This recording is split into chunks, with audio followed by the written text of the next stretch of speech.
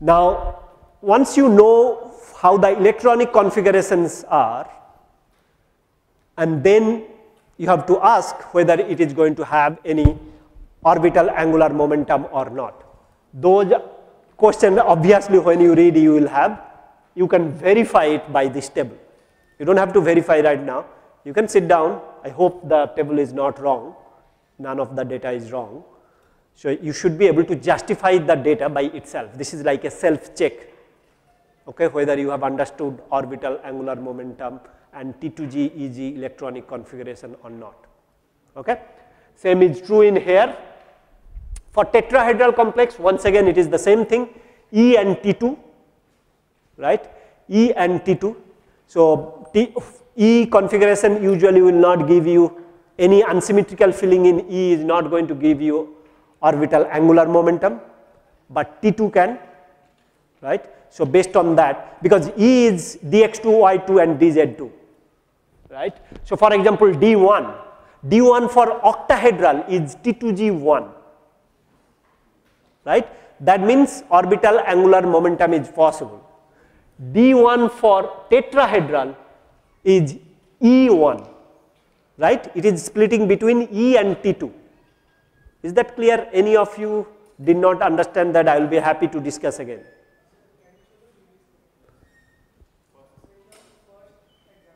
Yeah.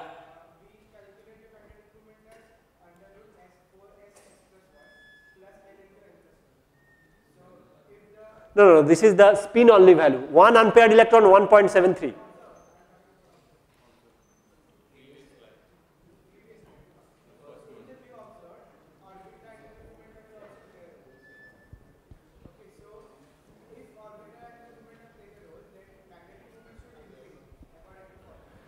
Yes, usually see usually what also happens is simply the splitting in the tetrahedral see you cannot directly compare octahedral versus tetrahedral. You have to also understand the trend in the sense the splitting between E and T2 is less in tetrahedral. This is octahedral. Yes this is the observed value and this is the calculated value. That's the maximum you get. Okay. Yes, expected is you should get little bit higher than that, but it doesn't because some quenching is there. It is more, see, we are not going to trick you that observed is less than the calculated. That can happen sometime, we'll see more. There could be some other contribution, quenching, quenching by spin exchange, which I will be discussing. Okay. What I am mainly trying to say is spin only values should be good enough, but when you see the value is more than the spin only value, then orbital angular moment perhaps is there. How to calculate it? Simply by figuring out whether you are having orbital angular moment or not. If you experimentally see the value is little less or exactly similar or very close, that means that some other way of quenching would be there which will be one at least one instant we will be discussing today. Okay. It's you know this is like too simplified in terms of teaching. Okay. In reality you can have lot of other practical components which maybe we are not discussing. But once again for this class we are saying that only thing you want to worry about is the spin only value. After that, if you find that the value is little bit more, sometime 0.1 more, 0.2 more, those are originating because of orbital angular momentum. Okay?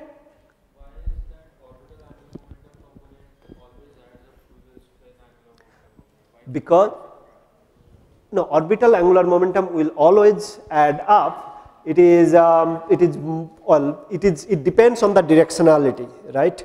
So if you are imagining let us say more of a spin up and then it is, it is another vector is there to direction, whatever this vector is having and I mean vector addition is usually you are going to take the modular value, the absolute value. Uh huh. Spin momentum has one component which is pointing upwards. Then why is that angular, uh, orbital angular momentum also has a component in upward direction? Why not in downward direction? Why not this? Uh, that's a good question again. Um, we usually usually never actually worried for the orbital orbital angular momentum versus spin Usually we deal separately and then take the pure value of it, do the vector addition. Okay. Now, if you want to do the, see it is, it is orbital angular momentum actually does not depends on the spin, right. It is the motion around the orbital, right. So, spin only value is dependent on the spin. So, therefore, up and down is coming. Orbital angular momentum, there is no spin component. Now, that, that, is, that is the motion. Simple the motion is we are discussing, right. Simple motion. It is not the up and down motion we are. Up and down motion is the spin. I think that perhaps is the reason.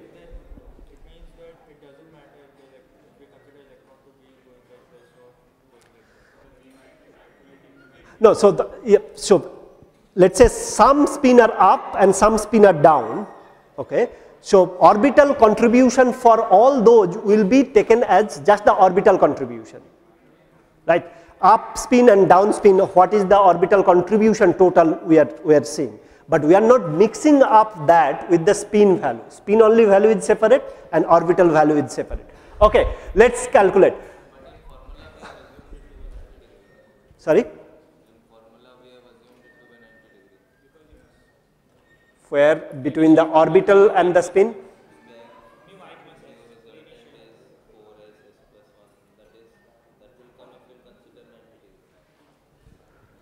For uh, that uh, spin only values n into n plus 2 mu l plus s.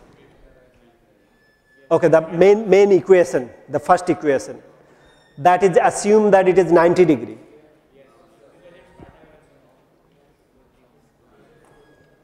I think that's that is that is that is independent of the angle. Why why we need an angle for that? Well Well, the spin, I, I, don't, I don't think spin and the orbit are, of course, spin orbit coupling can be there, those, both the coupling can be there, but if you are individually taking how one is affecting the other, if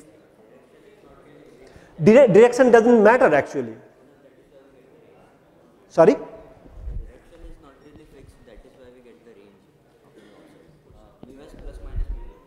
Yeah, that is mainly, um, so that, that, that is when um, we have, yeah, we, we usually say that when it is less than half filled, that is L minus S we take. When more than half filled, then we take L plus S values. I, I think it is independent of the direction, right? Okay, I, I, I will try to find out if it is dependent, if the equation is dependent on the direction. Okay, let, let me proceed further. Okay, we have dz2 and dx2y2 which is not interconvertible and we are started saying that for d2 these are the value and then we are saying that these are the orbital contribution whether possible or not yes or no answer. Now same way it is true for tetrahedral complexes okay you can find out whether it is there or not if there is any discrepancy then then just let me know. I, I think this should be, this, this is from the uh, book directly. Other reasons for or orbital contribution. So usually we are pretty much focused on the ground state electronic configuration. Sometimes what happens is, let's say T2G6 EG1. T2G6 EG1 means there should not be any orbital contribution. But still if you can excite T2G6 EG1 to T2G5 EG2, one of the electron from T2G level to EG level if you can promote, then you can promote or then you can induce orbital angular momentum. Okay?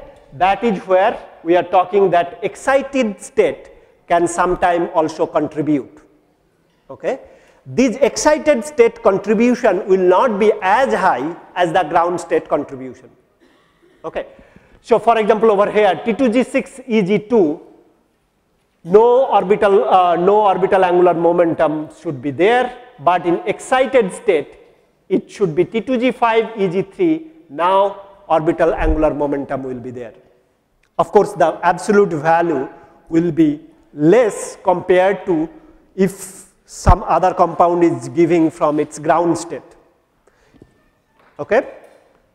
So, the orbital angular momentum not necessarily coming just from the ground state, it can come from also excited state. So, therefore, it this leaves a option or this, this gives a option to set a question saying that look the spin only value should be this much or you calculate the spin only value which is let us say 1.73 or you know 2 point or 4.89 whatever it is, but the observed is 5.6. You do the elect electron distribution and see there is no way you can have orbital contribution, orbital angular momentum, but still the value is high. Then of course, you have to think perhaps ground state is not contributing, there is a chance maybe in the excited state. Okay? So, under the normal condition if you cannot explain what is going on then you are open to include the excited state. Same is over here E4 T23 should not have any orbital contribution orbital angular momentum. Now, in excited state E3 T24 you can have it. Okay? In all these cases you see that mu observed is greater than mu spin only okay, for both octahedral nickel 2 plus and tetrahedral cobalt 2 plus because these are the electronic configuration for octahedral nickel 2 plus that is there, tetrahedral cobalt 2 plus that is there. So, at least these two terms should be very familiar octahedral nickel 2 plus tetrahedral cobalt 2 plus. These are the one can give you excited state. Other than that if any question is given in the exam where you cannot once again cannot explain by normal understanding of orbital angular momentum like unsymmetrical filling in T2G. It is symmetrically filled still the value is high you can try to explain that by contribution from excited state. Is it clear? Okay, you read it, it should be. Now this is how it is. So T2G6 EG2 now one of the electron if you can convert, if you put let us say light, if you put energy or the distance between these two is not very high, in excited state, you can excited state you can achieve therefrom from T2G6 EG2 you can have T2G5 EG3. Now in this configuration you can have the orbital angular momentum. It's clear? both ground state and excited state you need to consider. Now this is another configuration, okay. This is for uh, T2G5, EG3, I guess this is the one. Of course, in, in here you can have three different orientation, that's what we are trying to say. So not from ground state, if you go to excited state, excited state can have three different configuration, right, which is the origin for orbital angular momentum. Okay. No need to have this point, just this is good enough. Ground state there is no orbital angular momentum, excited state it, it should be there. How it is coming? I think you have already learned because the relative positioning of the electron can vary. Okay. Now, So, what we are trying to tell you here is this is also a D8. This is also a D8 configuration. Nickel 2 plus is D8. Nickel 2 plus D8 octahedral case. This is the scenario you have. Nickel 2 plus D8 tetrahedral case. What's the electronic configuration? Nickel 2 plus octahedral and tetrahedral nickel 2 plus D8. Octahedral will be, this is the electronic configuration, okay. Octahedral with not so strong field ligand. Strong field ligand should have given you the square planar geometry. This is nickel tetrachloride or nickel hexaaqua or whatever. Weak field ligand should give you the octahedral species. Okay. Whenever you see D8, be little bit cautious. D8 can have octahedral and tetrahedral uh, sorry, octahedral and square planar. Of course, if it is given clearly, that's no worry. D8 with D8 electronic configuration with strong field ligand like cyanide or carbon monoxide can give you square planar geometry. Sometime for these cases you do not have to worry, but in other cases you have to worry a little bit. Now nickel 2 plus octahedral electronic configuration is given. Nickel 2 plus tetrahedral electronic configuration is D4 T24 E4 T24 right. So E4 T24 right. Now the question simply is which one will have higher orbital or higher magnetic moment value. Both of them are having two unpaired electron. Here you have two unpaired electron, here you have two unpaired electrons, right. Octahedral, tetrahedral, both of them are having two unpaired electron. Experimentally, which one you think will give you higher magnetic moment value? Tetrahedral. Why is that? Simply because this contribution for octahedral, this orbital angular momentum contribution coming from the excited state. In the ground state itself, there is no orbital angular momentum. In the excited state, there is. But in tetrahedral case, you can have orbital angular momentum due to the unsymmetrical filling of the T2G orbital, right? That's the reason. And actually it can go up to, for two unpaired electron, it can go, go up to 4 Bohr magneton. Okay, Bm is the unit for magnetic moment. Okay? It's okay? It's given. Now, so, so far we have discussed about the D block elements. No, that also depends on the ligand. Strong field, if the ligand is strong field, usually then, then only you will see. Okay. So, if it is a weak field ligand, then you don't see too much of that. Okay. All right. Now, weak field means fluoride, chloride, water, these are the weak field ligand. You have that, uh, you know, electrochem spect spectroelectrochemicals or spectrochemical series, right? It's not spectroelectro, spectrochemical series.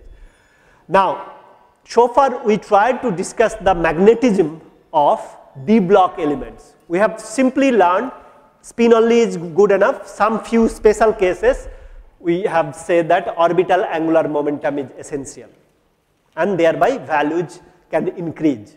If once again, I think that's a valid point that if you see little bit decrease, don't worry about it because there may be other reason. We are not worried about less value or lesser value of an experimentally observed magnetic moment. We are mainly worried about the higher value. Lesser value can come from some or lot of other factor. Now we are now trying to discuss the magnetism or magnetic behavior of lanthanides or actinides. We will not get into actinides, just simply lanthanides. So simply speaking, lanthanides are of little bit different class of compounds. Okay. It has f orbital. You know that f orbital is buried inside. It's not the real outside electrons are the s, even you know, wherever if you see lanthanide, cerium, praseodymium, uh, yeah, whatever um, uh, EM or whatever that, that 14 are there, CPR, EM, SM, samarium, gadolinium, whatever it is there, all of those cases, F electrons are buried inside. What essentially that tells you is ligand will have very little effect. Ligand cannot influence the magnetic moment value. Because the F electrons are buried inside, in it ligand cannot affect the F electron too much or almost nothing. So d orbitals or d block elements we were seeing that orbital angular momentum value are almost gone right? That mu L component is very little, only when unsymmetrical filling is there then we are seeing. But over here, you do not have to worry about anything, you have to do both L and S component, orbital and the spin component. Because orbital component cannot be restricted by the ligand. So, as if you are dealing with a free metal species. Although metal complexes are there, lanthanide complexes are there, lanthanide ion is in the middle, ligands are surrounded, but ligands cannot affect the magnetic moment value. But you, you have seen that for octahedral complex or tetrahedral complex or d block elements, ligand can influence. There is a splitting in the d orbital. F orbital, we do not see such splitting. Or you can, you can take it almost that there is no splitting in the F orbital because ligand and F orbital cannot interact too much. That is fine. Therefore, you have to bring back your previous equation which has magnetic moment values by considering both orbital and the angular component. Okay? Now, the facts that is the fact that F electrons in lanthanides are buried in the N minus 2 cell. So, you are in for calculations. What is the calculations? Let me show you this is the calculation. Okay? This is something I guess you have to know, if not remember. I think a lot of you know this already. Okay? Start, start learning. Now, the, so number of unpaired electrons, number of unpaired electrons, that is the, can, that component can give you the S, summation of number of spin of the unpaired electron. That is S, you know. L, this L, you know from these ml values, right? Let me So term symbol you have heard of. So I will discuss little bit 2s plus 1 Lj. J equals L plus S or L minus S absolute value of these. Now S equals number of summation of spin, right? Or whatever way they, that is written, summation of spin, let's say. Number of unpaired electron. Let's say you have three unpaired electron. Three unpaired electron, that means spin will be, S will be half plus half plus half. Right. Now, if you have three unpaired electrons, so this is your F orbitals 1, 2, 3, 4, 5, 6, 7. So ml values are plus 3, plus 2, plus 1, 0, minus 1, minus 2, minus 3. Right? 3 unpaired electrons simply means that. Right? ml maximum. 3 plus 2 plus 1. So L equals 6. 3, 2, 1. Okay? Now therefore, for that case, 3 unpaired electron case, you have 6, this L value at 6, 6, I will come back to that. You know SP term symbol, S, P, D, F, G, H, I and so on. So S, L, if L value is 0, then that is S. If you have not studied before, you just go for this Russell Saunders term. S, P is 1, D is 2, F is 3, 4, 5 and so on. 1, 2, 3, 4, 5. Now, this capital S, you have learned 3 by 2. 3 by 2, right? 3 by 2, it is going to be 4.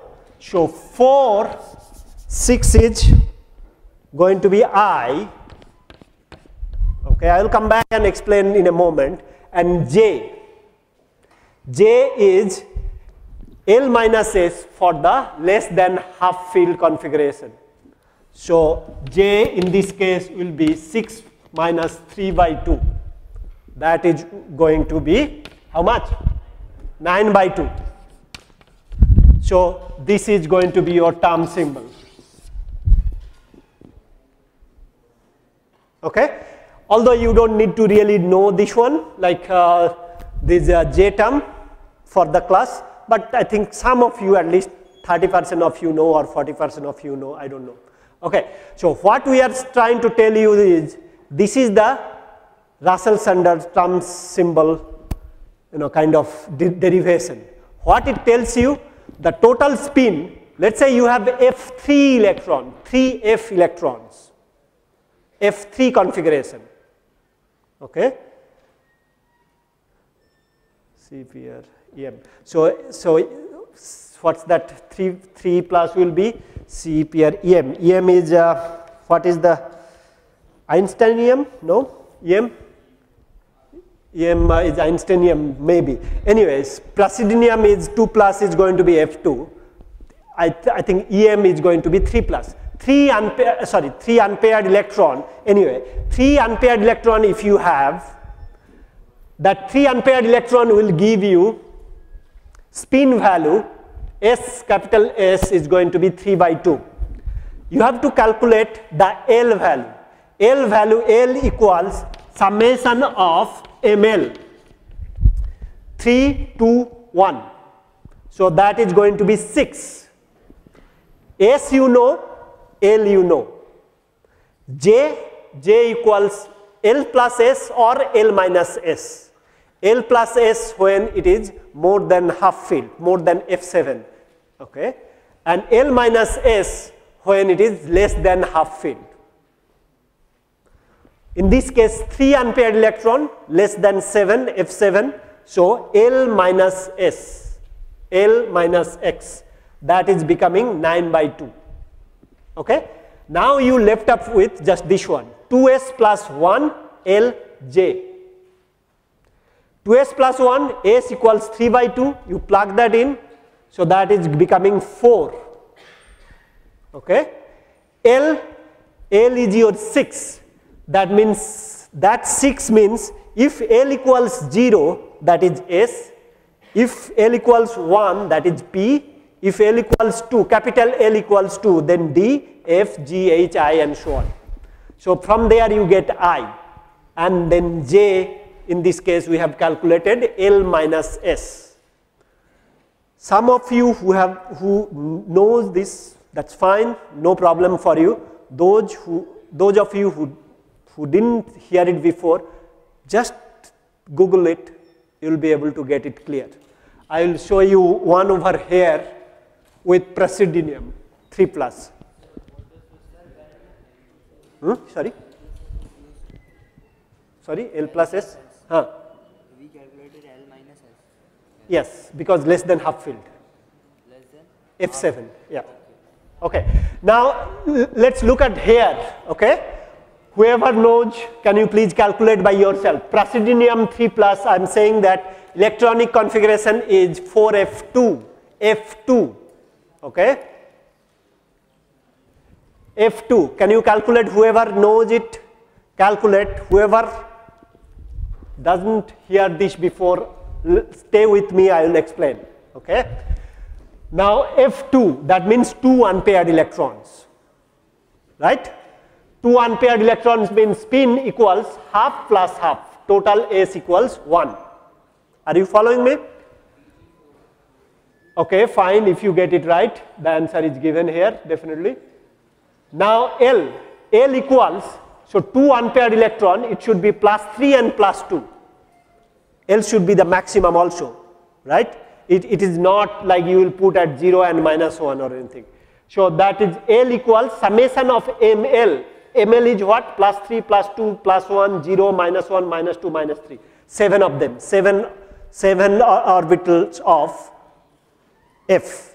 For D it, it was plus 2, plus 1, 0, minus 1, minus 2 if it is D degenerate. Okay?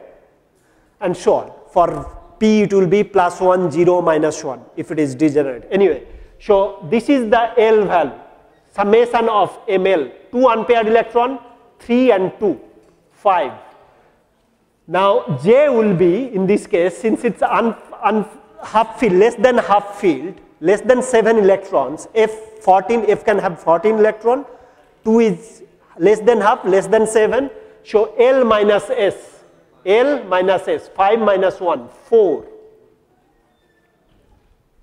okay? Now if you have that here praseodymium 3 plus uh, 2 plus oh sorry 3 plus is 3h4 i think you have calculated right? 3h4 how now you plug it in this equation. 2s plus 1 lj 2s plus 1 means 2 plus 1 3 l l is going to be 5 that is going to be h. So 3h is it getting clear? Okay let me just some of you may not be seeing it. Okay it is going to be 2s plus 1 lj so 2 minutes break you can take you can go for whatever. 2 plus 2s plus 1 s equals 1 plus 1 l equals l equals 5 and j equals 4 so this 5 is going to be 3 and 0 S P D F S P S P D F G H. Good. And 3 H 4 4 is 2J plus 1 sorry A, A, L minus S. Is it correct? Okay. Break.